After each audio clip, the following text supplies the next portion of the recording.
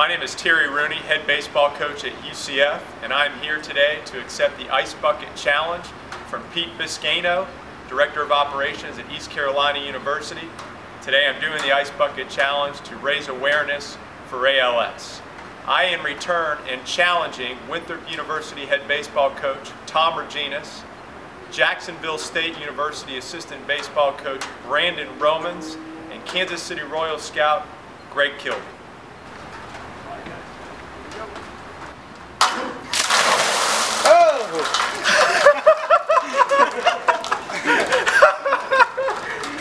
That was a good shot. That was good.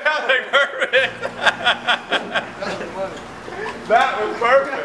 That was perfect.